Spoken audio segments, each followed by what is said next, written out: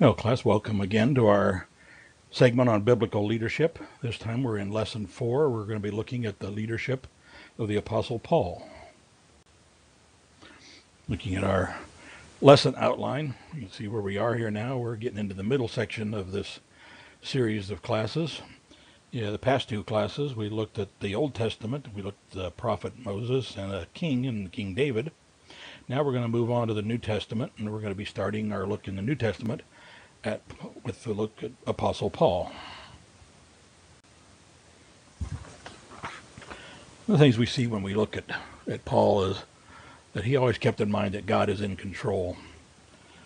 We see through his ministry that God appoints, anoints, sanctifies, teaches, empowers, and guides his leaders to do his will. This really follows the cycle that we've talked about in the past few sessions.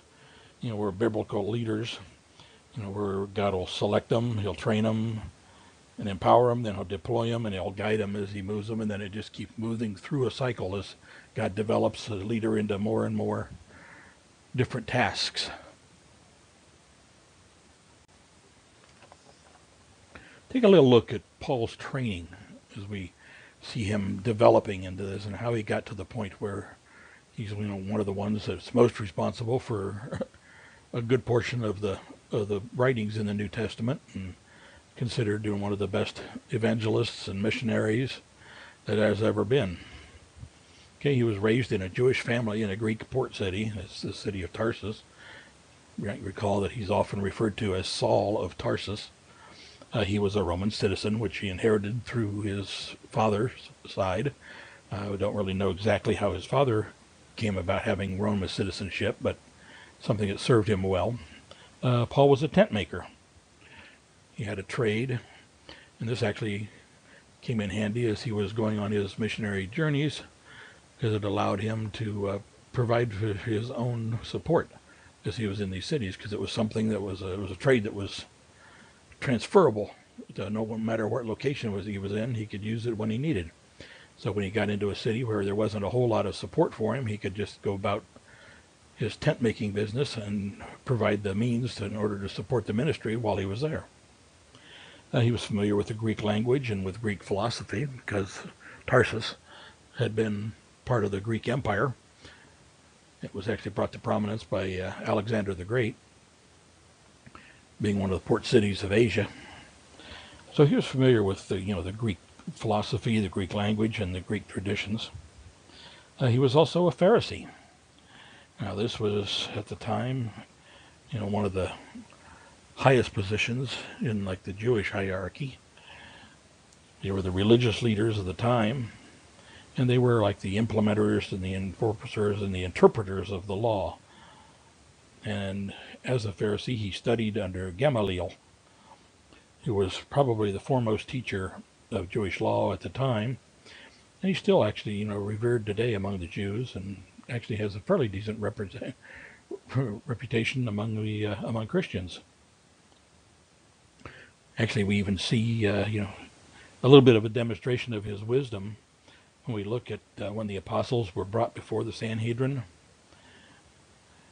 Gamaliel was the one that just said, "Hey, don't be too hard, don't be too harsh, and don't be too quick to judge. Let's just let us go and see what happens. If this movement is something that's of man, then it's going to die out, like all the others have in the in the past. But if it is of God, then there's no way that we can stop it. That's actually you'll see that in Acts chapter five, verses thirty-four to thirty-nine. If you want to go look up, you know, the exact words that he that he says there, but quite a bit of wisdom for somebody that was, you know, a Pharisee at the time. And of course, Paul was very familiar with the, the scriptures, you know, what we call the, the Old Testament, or the, it's the Hebrew scriptures at the time, because his father, you know, was also a Pharisee. So even before Paul got to the point of being trained under Gamaliel, he would have had some very good training in the in the scripture and in the, the Jewish traditions of the time. So this kind of got him up to a, a certain point. Now let's take a look at Paul's transformation. kind of look at him, you know, maybe a little comparison here before and after his encounter with Christ on the, on the road to Damascus. You might recall that, you know, before he had this encounter, you know, being a Pharisee and a very zealous Pharisee, he was out there trying to get rid of Christianity. When you know, we first saw him when he was holding the, the cloaks for the people that were stoning Stephen. Don't know exactly, you know, what his role was in the whole thing, but it, was definitely that he had some sort of a role there. And he was on his way, you know, he was actively pursuing Christians and dragging them out and bringing them to, to trial before the Jewish authorities because according to, you know, their thought that they, you know, they were blaspheming against God. And when he had his encounter on the road to Damascus, he was on his way to Damascus because he's heard that there was a group of Christians there and he was on his way to go get him. He had a, a letter of authority from the, the chief priest that gave him permission to go yank him out and drag him back and put him in prison. So we'll look at a comparison now before, you know, between what he, he was before and after this encounter that he had. Okay, well, before he was actually a Pharisee, which was, as we said, you know, one of the highest religious leaders in the area at the time. Afterwards, he was a Christian. I mean, they didn't actually use that name at the time, but he was a follower of Christ. Before his encounter on the road to Damascus, he was a persecutor of Christians. As we just said, he was out actively hunting Christians down and throwing them into prison. And, you know, if it came to the point where they were, were convicted, then he was th- throwing in the lot to say, yeah, go ahead and, and kill him. After the thing, he actually became persecuted because he was a Christian. Before, he was trying to destroy the Christian faith. Afterwards, he was one of the biggest builders of Christianity that ever has been. Before, he attacked, and after, he defended.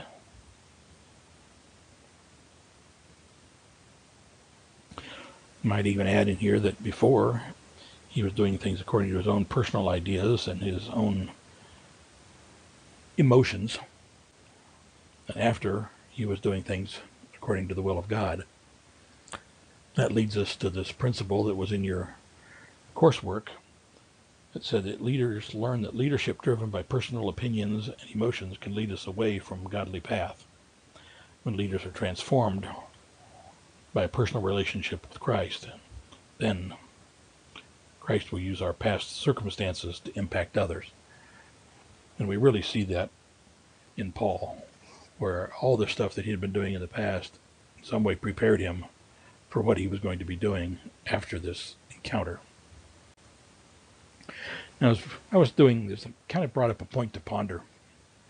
You know, something to consider here. This is kind of an exercise for you to do in your own in your own time. Uh, would have liked to have had maybe a little discussion on this, but since we're in online this week, it makes it a little difficult. Maybe we'll get a chance to uh, bring up the subject later as we're looking into some of the other topics as we move on. But consider a religious leader versus a true biblical leader. Now, the Pharisees, you know, like Paul or Saul, the names are interchangeable. Paul was his Roman name, Saul was his Hebrew name. Uh, you know, they were the top religious leaders of their day, but would they be considered biblical leaders? So I'd just like you to take some time to you know, contrast what you know about the Pharisees. You can look up, you know, see what Jesus had to say about them, and then what we know about what it means to be a biblical leader, and just kind of make a, a little comparison list there of, okay, this is what the Pharisees did, this is what a biblical leader is about, and just find out, you know, where there are similarities, where there are differences. I mean, just to get you started off, you know, one of the things we talk about with biblical leader is he only does what the Word of God says. Pharisees, of course, were the ones that went and added, you know, like 600 additional laws to the original laws that were in the books, you know, that that Moses had written down in the Pentateuch. So that's just an interesting part, you know, to, to start off in your little comparison there. Just a little sidelight as we're as we're considering things here and continue on now looking at Paul's transformation. So Christ actually redirected Paul's zeal to spread Christianity to the edges of the known world. You know, Paul had quite a bit of zeal as a Pharisee, obviously, you know, just to read the descriptions of how eagerly he was out hunting down Christians. But Christ directed you know, that zeal towards his own purposes. So he got Paul you know, on the right track and then turned him loose on the world. And whoa, what a difference it made once Christ got Paul on the right track. He managed to, you know, prepare the heart, prepare people's hearts to receive Christ. He was caring for the new believers. He didn't just go in, preach the word, and then disappear. He followed up and made sure he left people in place to, to take care of these new believers so they weren't just stuck there wondering, okay, I've accepted Christ, now what do I do? And as part of that, as we say, he left people in place, so he was mentoring, you know, the future leaders of these little churches that he planted. And some of them grew up to be pretty big. And, you know, he actually learned how to endure afflictions, you know, while still delivering the message. So this leads us to the, the second principle that leaders submitting in obedience and faith to Jesus persevere in following him with energy and consistency to the end.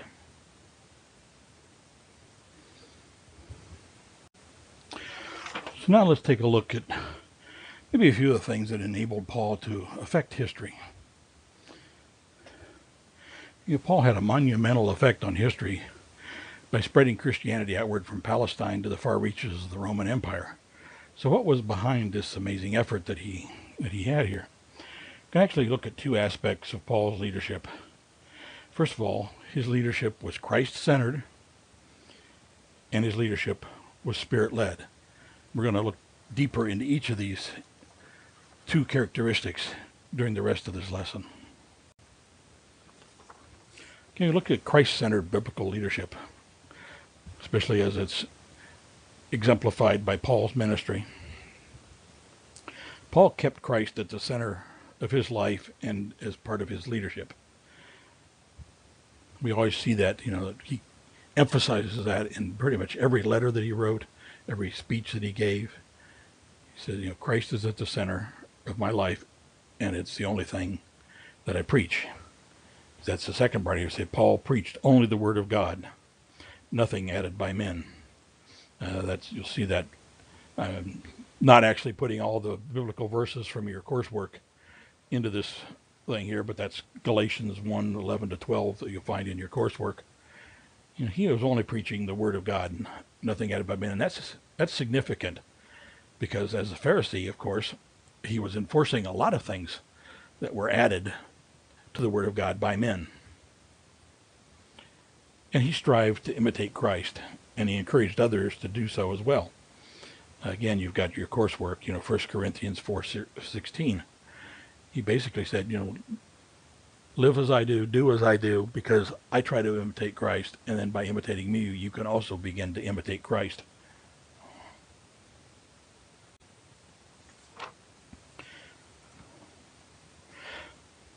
So Paul also advocated having the mind of Christ. Uh, the coursework that should be Philippians Philippians two five to eight. The verse that's in there in your coursework.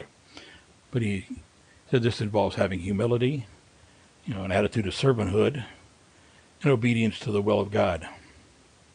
So actually, in I think it's about two weeks, we're going to actually spend a whole session on looking at servant leadership. And of course, Christ is the ultimate servant leader, which we'll be looking at in our next mes- message. Is you know Christ as a biblical leader, obviously the ultimate one. And of course, we'll also be touching on more on the obedience to the will of God. That's part of this whole whole thing. And of course, Paul conducted his ministry to bring glory to Christ. Now, this actually also is in your coursework, but I thought it was just something that needed to emphasized. It says, Christ shall be magnified in my body, whether by life or by death. For me to live is Christ, and to die is gain. Really didn't matter to Paul what happened to him, as long as whatever happened brought glory to Christ. That was his whole whole goal, that everything that he did would bring glory to Christ. Not bring glory to him, but bring glory to Christ. And that, of course, is the mark of a biblical leader, that you're more interested in people seeing Christ than they are in seeing you. know, Paul, even though he was born a free Roman citizen, which was you know something very big at the time. You know, as a Roman citizen, it gave you uh, lots of advantages that you didn't have if you weren't a citizen. Uh, in fact, well, you see that as you see him going through on his various mission trips. That punishment that would have happened to a non-citizen, he didn't get. Or a couple cases where they didn't know yet that he was a citizen, and they actually administered the punishment as if he wasn't. They were afraid they were going to be in more trouble than he was. So that was a big thing to be a Roman citizen in those days. But even though he was a citizen, he became a slave for Christ in order to do what God called him to do. He said, I'm willing to give up everything I've got here, all the rights I've got, and live just for Christ and to do what he tells me to do. And we got to do the same you know, when we lead or when we follow. It doesn't really matter whether we're leading or following. We're going to be doing both you know, throughout our life. There'll be times when God calls us to lead. There'll be times when he calls us to follow.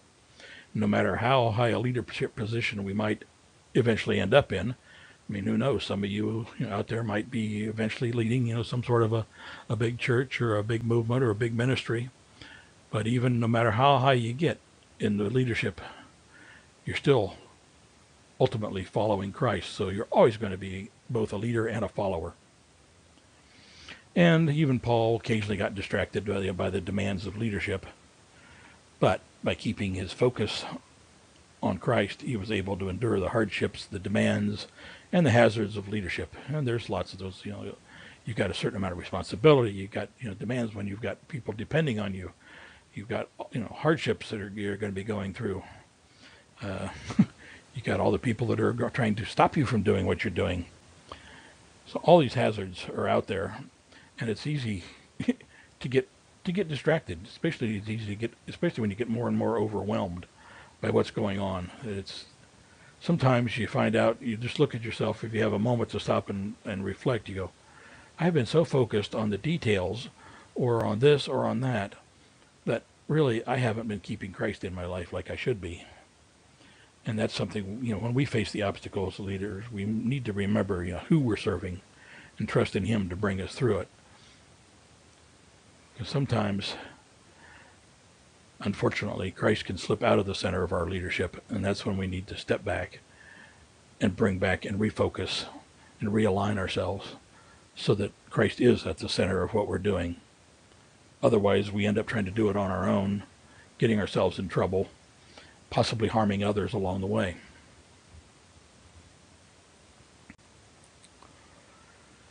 So just a kind of a short checklist here, you know, what it takes to be a Christ-centered leader. We got to be Christ-directed. He's got to be the one that's calling the shots. We got to be Christ-taught. First of all, we have to be willing to learn. Then listen as he teaches us and gives us the knowledge and experience that we need as we move on to do whatever it is he has planned for us. We've got to be Christ-led. We've got to follow and go where he leads us we have to try to imitate Christ to the best of our ability. That's a whether we're leading or following. That's a task that we have from now until He calls us home. Got to be self-sacrificing. Got to put the will of God and the, the kingdom benefits ahead of our own. Got to learn how to humbly serve others. Again, we're talking here about the concept of being a servant leader. And of course, obey God you know, all these qualities we see in Paul as he served the, served Christ and he led the church, you know, out into the world, and he really did take it to the edges of the known world at the time. But the second aspect we're looking at here is Paul, you know, not only kept Christ at the center of his ministry, but he allowed the Holy Spirit to direct him, teach him, sustain him, and encourage him. Paul basically, you know, was following the Spirit's guidance. Once he had that conversion there on the road to Damascus, that encounter with Christ Himself, then the Holy from then on, the Holy Spirit was directing everything that was going on. He even had a, you know, Holy Spirit even was involved in Paul's conversion. You know, afterwards, you know, he was led off there to Damascus, where he met Ananias. Ananias was told to lay hands on Paul to remove the scales, and of course, the Holy Spirit had to convince Ananias to get anywhere near this guy, because he, wait a minute, isn't this Saul, the guy that's been, you know, capturing and and imprisoning and killing people like me. So he had to convince him to, to do that. And then he led Paul into the synagogues to preach. And then, again, looking at the verses in your coursework, if you look at Acts 13, 2 to 4, then the Holy Spirit asked for Paul and Barnabas so that he could, the Holy Spirit could send them on a mission. So the Holy Spirit got involved right from the start, right as soon as that conversion happened.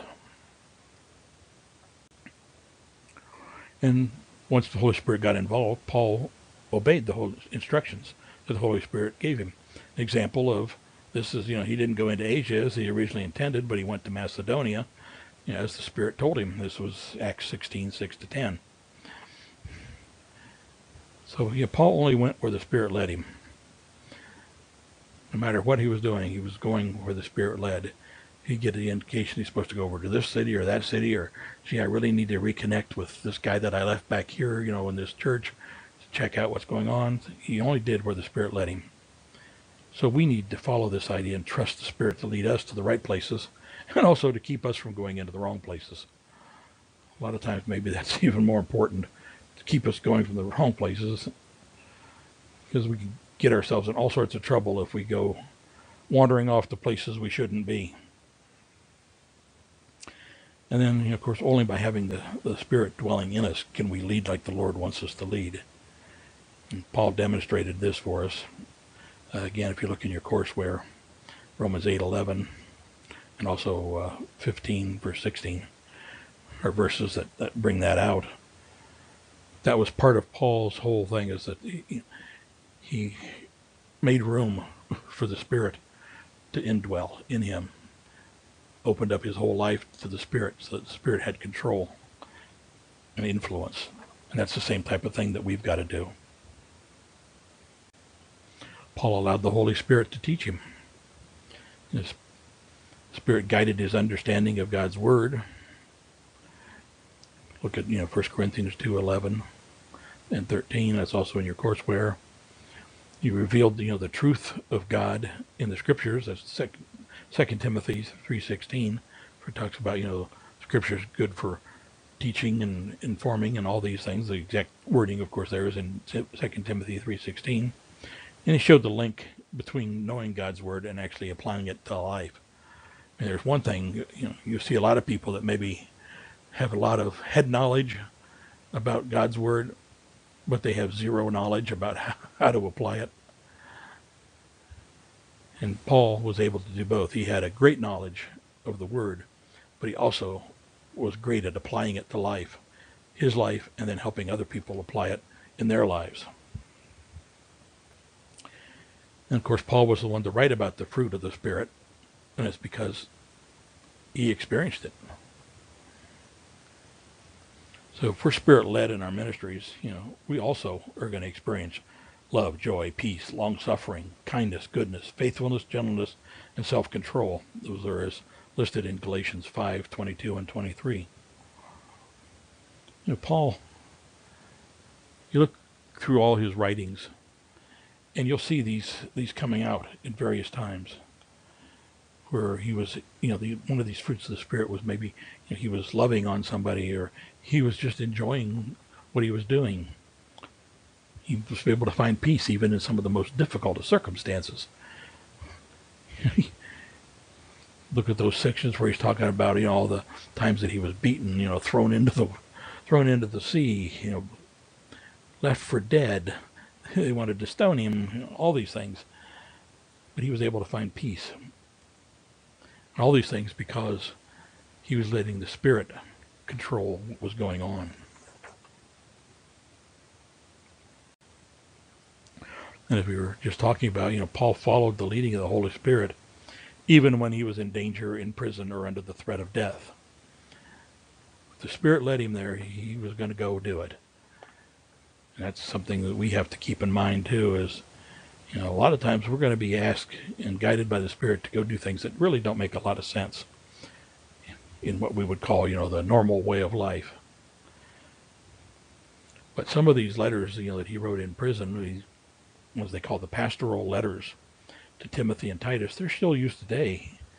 You know, for their church instructions, for the leadership principles, and the encouragement of their church leaders. You know, Paul continued mentoring new churches and new church leaders even while he was in prison awaiting execution. He really did not allow his circumstances to interfere with his mission. All this time, the Spirit was leading him, writing these things. You know, he was actually maybe even led there because he would be he would actually have the time to write down all this stuff that otherwise might have been only done orally. You know, if he'd have been out wandering around and continuing on his trips, who knows if we would have had some of the things that were written there. But being in prison, he had plenty of time to write. So he wrote all this as he went about trying to keep on encouraging the leaders that he had left in place, as we had mentioned earlier. You know, he didn't just go into a place, make a few converts, and then leave. He left a stru- structure, he left a church in, in, in place so that these new believers could be fed and developed and nourished. And in order to do that, he had to build up the leaders that he had left there.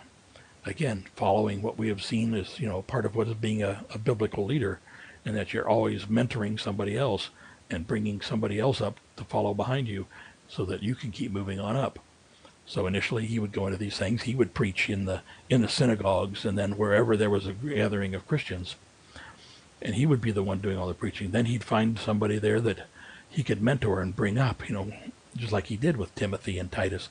There's many of these people that you know are mentioned that he left in charge of these little churches, and then he would keep in contact with them to make sure that they were developing, so they were always at least one step ahead of the people that they were that they were working with. And then he taught these people then how to then pick up the same concepts and get people into the ministry to help them, so that they weren't trying to do everything on their own too. So it was a nice continuing cycle that we had there. So if we look at a summary of Paul's leadership, you know, his Christ-centered and spirit-led ministry, you know, left his disciples and us with wisdom as an example of leadership that we still follow today.